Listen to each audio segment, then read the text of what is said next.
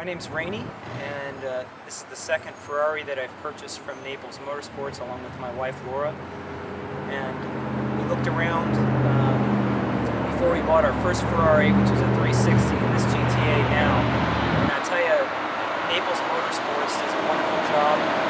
They treat you like a family. Um, I don't think I have purchased a car and been treated so well before uh, like I do now, working with Jonathan Wright mainly and also Chris Pruitt. I think as far as professionalism and caring, they do a wonderful job. I'm a surgeon up in Ohio, and there's plenty of surgeons.